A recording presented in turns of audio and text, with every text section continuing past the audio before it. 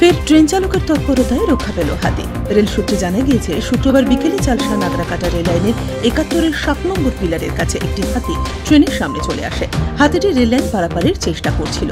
Rail লাইনে হাতিটিকে দেখতে পেয়ে সঙ্গে সঙ্গে ইমার্জেন্সি ব্রেক কষেন চালক এস বড়ুয়া ও সি কে মিশ্রা। হাতিটি সেখান থেকে ধীরে ধীরে জঙ্গলে চলে যাওয়ার পর ট্রেনটি ফের নিজস্ব ছন্দে চলা শুরু করে। ডুয়ার্সের এই রেল লাইনের ওপর চাপলামারি বন থেকে একাধিকবার হাতি চলে এসেছে। যদিও গত কয়েক মাসে কোনো দুর্ঘটনা ঘটেনি। রেলের চালকদের এই ধরনের সাবধানতায় খুশি পরিবেশ প্রেমীরা চালসা থেকে রহিদুল ইসলামের রিপোর্ট, উত্তরবঙ্গ সংবাদ।